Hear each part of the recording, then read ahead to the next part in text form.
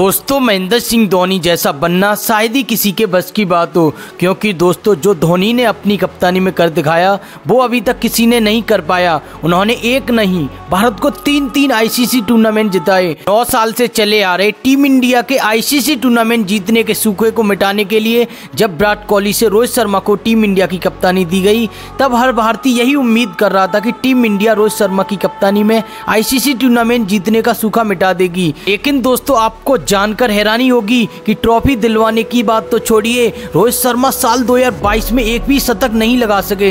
दोस्तों, रोहित शर्मा के साथ 10 साल में पहली बार ऐसा हुआ है कि उन्होंने एक कैलेंडर ईयर में किसी भी फॉर्मेट में शतक नहीं लगाया है। साल भारतीय कप्तान ने आठ ओडीआई मैच खेले और इकतालीस की औसत से कुल दो सौ उनचास रन बनाए हैं। इस दौरान उनके बल्ले से तीन फिफ्टी तो निकली, लेकिन दोस्तों, वो एक भी शतक नहीं लगा सके। दोस्तों, उनका वनडे मैच में सबसे बढ़िया स्कोर नावा छिहत्तर रन रहा।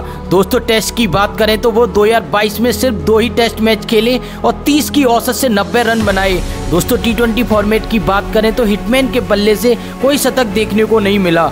उन्हें उनतीस टी मुकाबले में 24.30 की औसत से और एक की स्ट्राइक रेट से छह सौ छप्पन रन बनाए हैं। इस दौरान उनके बल्ले से केवल तीन अशतक निकले, जिसमें दोस्तों उनका सर्वाधिक स्कोर बेहतर रन रहा।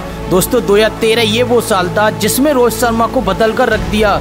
दोस्तों 2013 से हर साल उन्होंने लगातार रनों और शतकों की बारिश की, लेकिन दोस्तों, अब यह सिलसिला टूट चुका है। दोस्तों 2013 में उन्होंने चार शतक लगाए 2014 में एक शतक 2015 में चार शतक 2016 में दो शतक 2017 में आठ शतक 2018 में सात शतक 2019 में दस शतक तो 2020 में एक शतक 2021 में दो शतक तो दोस्तों 2022 में रोहित शर्मा एक भी शतक नहीं लगा सके।